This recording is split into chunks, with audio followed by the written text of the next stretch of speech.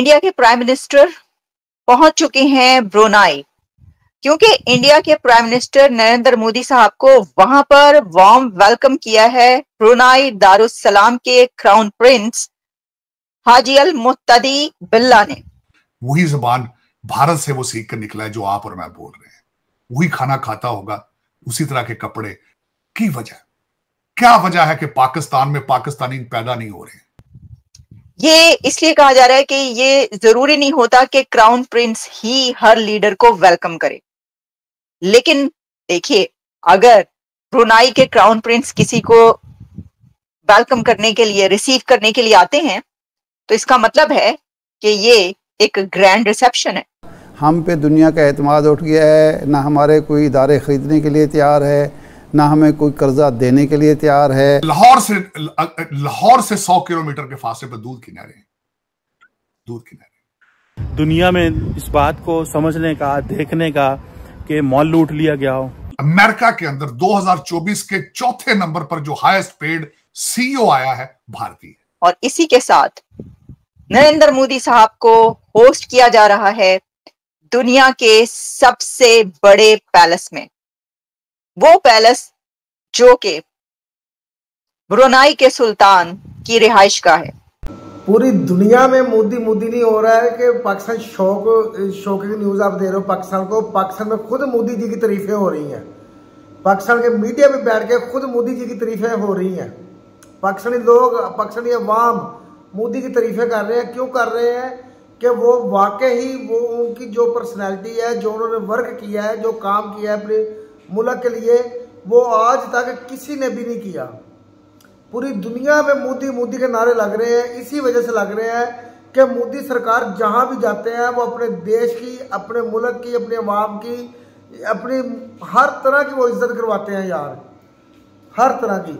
اب جتنے بھی دیش ہیں، چاہے وہ یورپین دیش ہو، ایشیائی دیش ہو، ٹھیک ہے جی جہاں بھی جاتے ہیں، چاہے وہ غیر مسلم ممالک ہو چاہے وہ مسلم ممالک ہو۔ یار، مودی سے بڑھ کر کوئی بھی نہیں جو اتنا ان کو پروٹوکول دیا جاتا ہے۔ کیا بات ہے یار؟ باقی آپ پوری دیکھیں گے ویڈیو۔ ویڈیو کے بعد ہم کریں گے بات۔ چلو آؤ ویڈیو دیکھیں۔ انڈیا کے پرائم منسٹر پہنچ چکے ہیں برونائی۔ اور برونائی دارالسلام کا یہ وزٹ کتنا سگنیفیکنٹ ہے، اس کے اوپر بات کریں گے۔ کیونکہ انڈیا کے پرائم منسٹر نریندر مودی صاحب کو وہاں پر وارم ویلکم کیا ہے، برونائی دارالسلام کے کراؤن پرنس حاجی المتدی بلہ نے۔ کراؤن پرنس نے ان کو وارم ویلکم کیا ہے۔ اور گرینڈ ریسپشن دی گئی برونائی کی طرف سے۔ ریڈ کارپیٹ ویلکم اور اسی کے ساتھ نریندر مودی صاحب کو ہوسٹ کیا جا رہا ہے۔ دنیا کے سب سے بڑے پیلس میں۔ وہ پیلس جو کہ برونائی کے سلطان کی رہائش کا ہے ریزیڈنس ہے۔ کچھ ڈیٹیلز اس کی بھی آپ کے سامنے رکھیں گے۔ یہ وزٹ کیوں اتنا اہم ہے؟ یہ بھی بتائیں گے۔ ایک اور خبر کہ ایک اور بڑا لیڈر دنیا کا پریزنٹ پوٹن وہ بھی اس وقت مونگولیا کے وزٹ پر ہیں۔ اس کے بھی کچھ اور اینگلز ہیں۔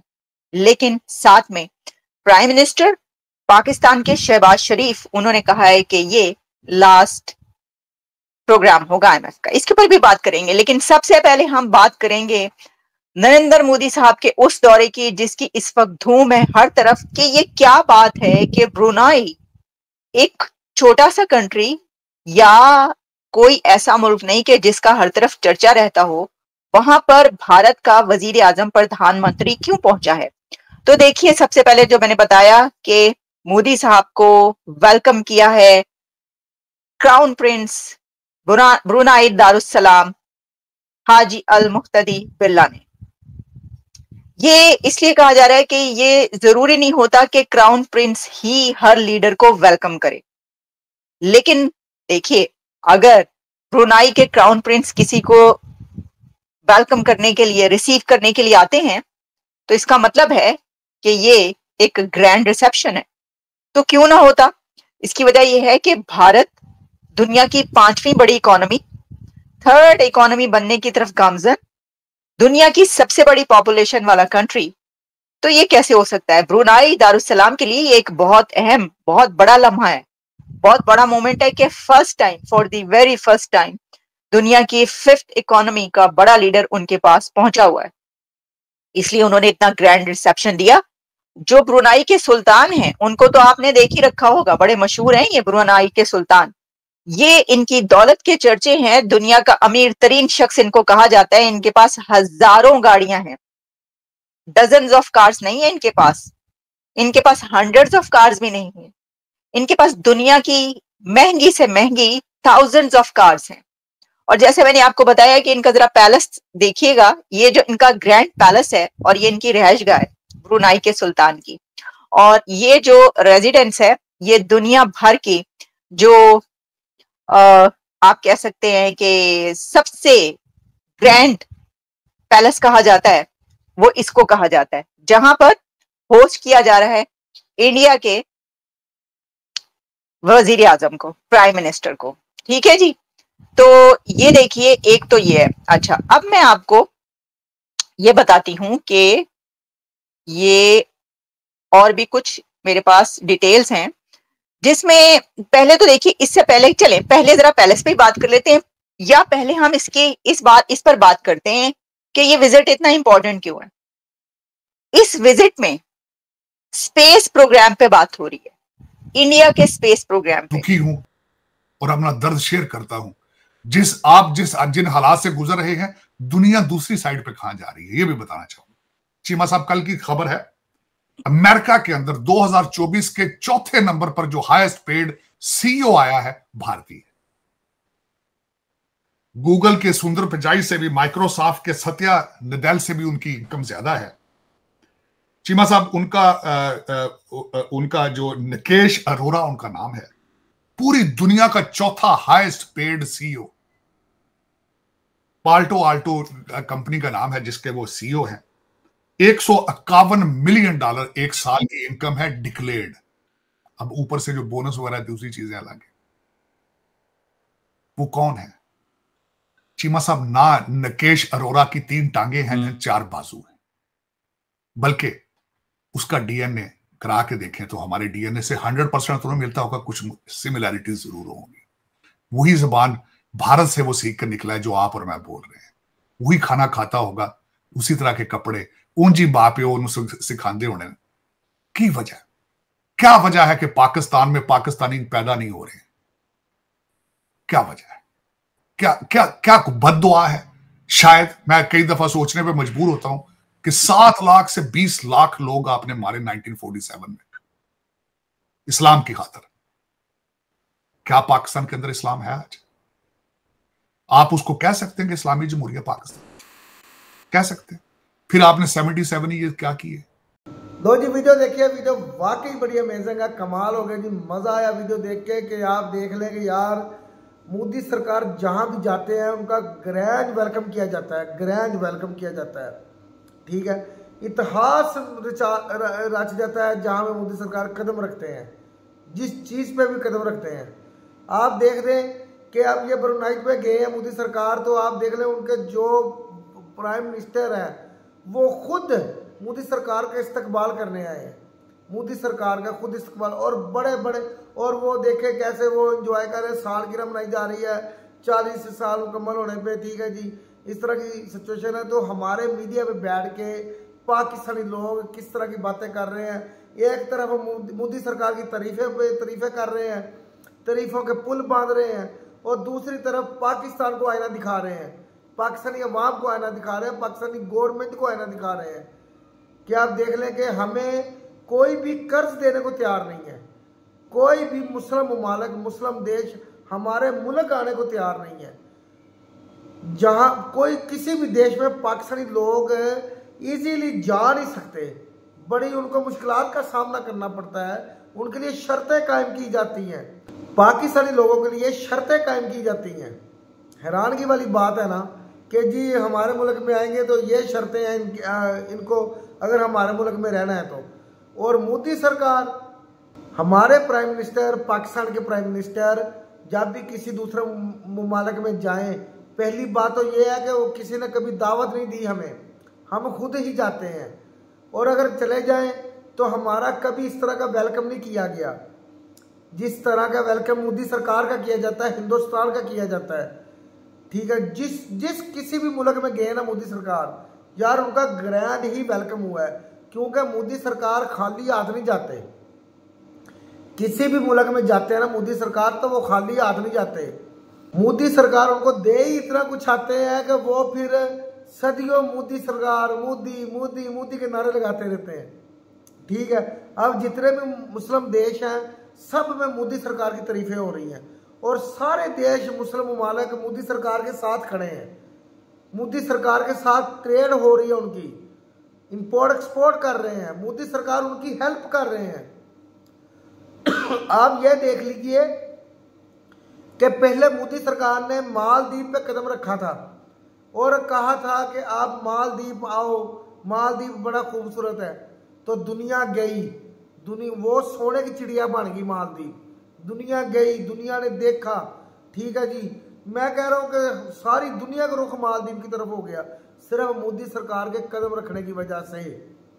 اور پھر جب مالدیپ والوں نے مودی سرکار کے ساتھ ان کا بہیو اچھا نہیں ہوا ٹھیک ہے جی تو مودی سرکار نے کہا کچھ نہیں ہوتا مودی سرکار نے چلے گئے لکشدیپ لکشدیپ جا کے انہوں نے دو چار سیلفیاں بنوائی بیٹھے ہیں چیئر پہ ٹھیک ہے جی انجوائے کی ہے اور صرف اتنا ہی بول رہا ہے کہ یار مالدیپ کو چھوڑو لکشدیپ آؤ ہر چیز ہے یہاں پہ اور میں کہہ رہا ہوں کہ مالدیپ کا تو کھانا ہی خراب ہو گیا مالدیپ کو جیسے سانپ سونگ گیا کہ یہ ہمارے ساتھ کیا ہوا ٹھیک ہے جو ہر چیز ختم کر دی مالدیپ کی انہوں نے۔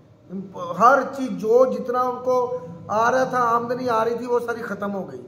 تو وہ صرف مودی سرکار کے جانے کی وجہ سے۔ اسی لیے جو بھی دیش مودی سرکار کو بلاتے ہیں، ان میں ان کا بہت زیادہ فائدہ ہوتا ہے۔ کیونکہ مودی سرکار کا جو لک ہے نا، وہ بہت ہی یار روشن ہے۔ وہ جہاں بھی جاتے ہیں، ان کے چار چاند لگا دیتے ہیں یا جا کے۔ مودی سرکار کے دور میں آپ دیکھ لیں، ہندوستان کتنا ترقی کر گیا۔ ہندوستان کتنا پاورفل ہو گیا۔ اکانومی میں ٹیکنالوجی میں، آئی ٹی میں۔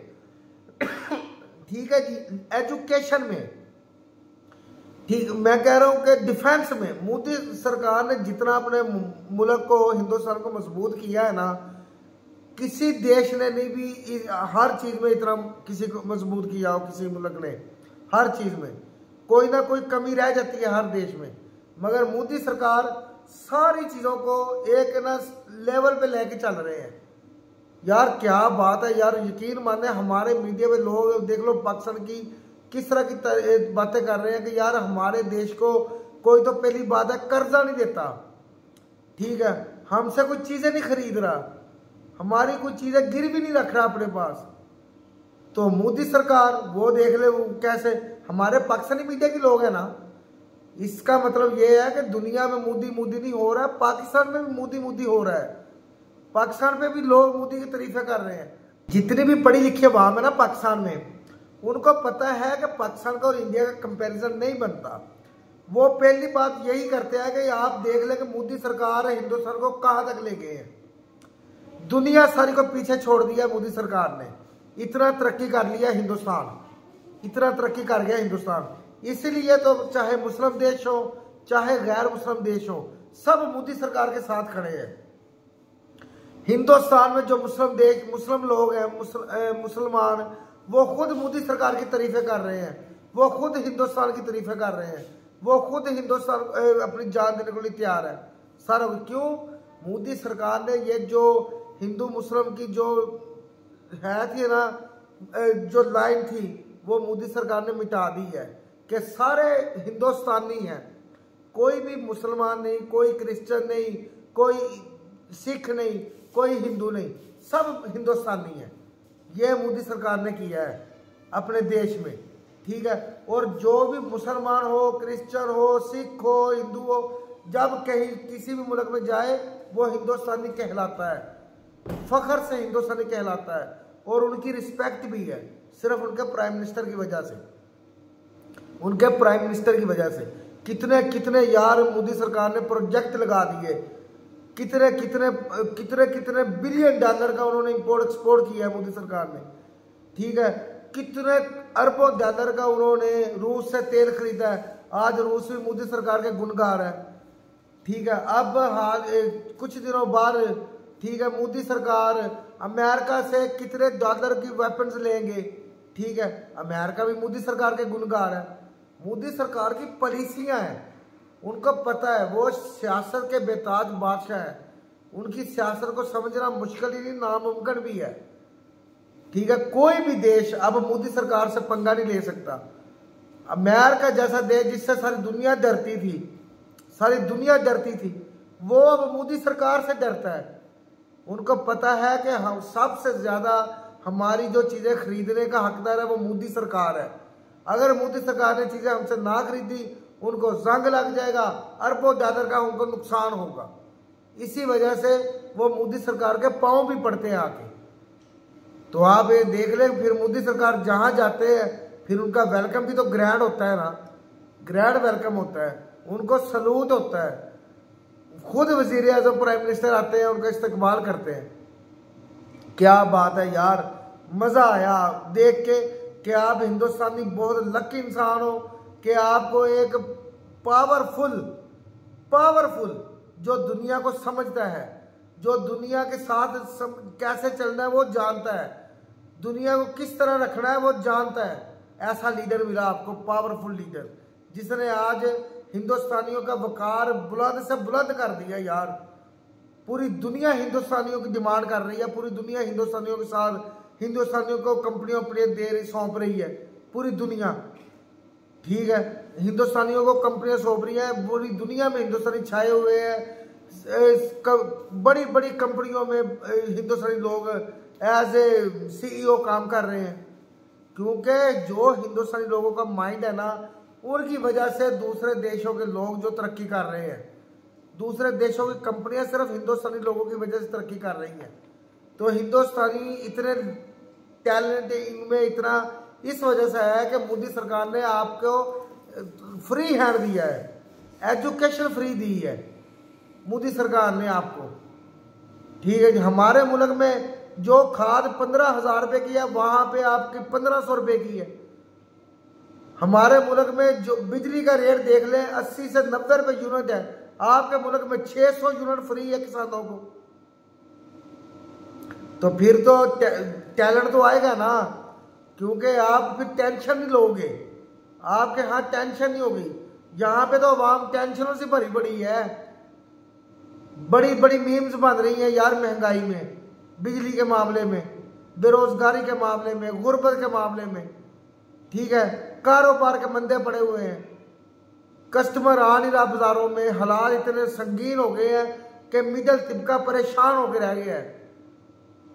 اس طرح کے حالات ہو گئے ہیں۔ تو آپ دیکھ لیں کہ مودی سرکار نے کیسی پالیسیاں بنائی ہیں کہ آپ کے کاروبار بھی چل رہے ہیں۔ آپ کو چیزیں بھی سستی مل رہی ہیں۔ ہر بندہ اپنا روزگار کھود رہا ہے۔ کسی کو بھیک مانگنے کی ضرورت نہیں ہے۔ جس طرح ہماری عوام پچاس لاکھ، ساٹھ لاکھ، چالیس لاکھ لگا کے باہر جاتے ہیں اور باہر جا کے بھیک مانگتے ہیں۔ ایسا نہیں ہونا چاہیے۔ آپ کی عوام نے بھی آپ کے ہندوستان کی عزت کروائی ہے اور مودی سرکار نے بھی عزت کروائی ہے۔ اور آپ کو ایک ندر لیڈر ملا ہے مودی سرکار۔ مزہ آیا یار ویڈیو دیکھ کے، تعریف بنتی ہے۔ جو ریالٹی ہے وہ سچ ہے کہ تعریف بنتی ہے آپ کی۔ مزہ آیا ویڈیو دیکھ کے یار۔ دل خوش ہو گیا کہ واقعی کہ مودی سرکار کا گرینڈ ویلکم بنتا ہے، گرینڈ ویلکم بنتا ہے۔ اور اس طرح کا ویلکم دیکھ کے نا، امریکہ جیسے دیش کی بھی آنکھیں پھٹی کی پھٹی رہ جاتی ہیں۔ کبھی وہ وہ بھی سوچتے ہیں کہ یار ہمارے، ہمیں اتنی اہمیت نہیں دی جا رہی جتنی ہندوستان کو دی جا رہی ہے، مودی سرکار کو دی جا رہی ہے۔ کیونکہ وہ مودی سرکار کی پالیسیاں ہیں۔ کیا بات ہے یار، مزہ آیا ویڈیو دیکھ کے۔ باقی آپ کو ویڈیو کیسی لگی اس کے بارے میں ضرور بتائیے گا۔ ویڈیو اگر اچھی لگے تو شیئر کیجیے گا، چینل کو سبسکرائب کیجیے گا، ویڈیو کو لائک کیجیے گا۔ ملتے ہیں اگلی ویڈیو میں، اپنا خیال رکھے گا۔ اللہ حافظ۔